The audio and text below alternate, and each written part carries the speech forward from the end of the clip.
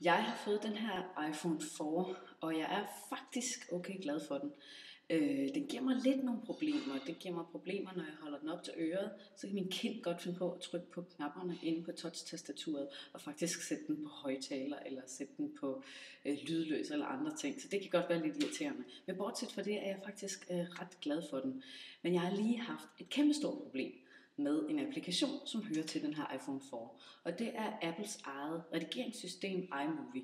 Det kan man få som en øh, applikation, man kan downloade til lige præcis den her telefon.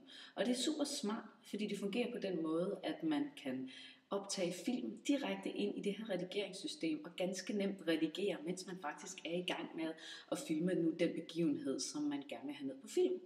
Og det er rigtig smart. Men det lille problem, det er, at når man så har filmet en hel masse, som det skete for mig forleden, øh, så kan man risikere, at den her applikation simpelthen fryser.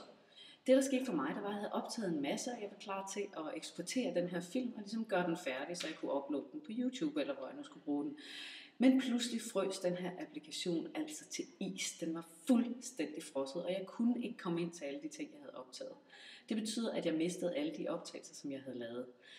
Det, man kan gøre for at undgå den her situation, og det jeg selvfølgelig selv gør fremover, det er, at man kan optage direkte med kameraet i øh, iPhone, altså telefonens kamera. Det er selvfølgelig det samme kamera, man bruger, men det er det kamera og high definition video, øh, som ryger direkte ind i ligesom ens fotoalbum, og ikke direkte ind i applikationen.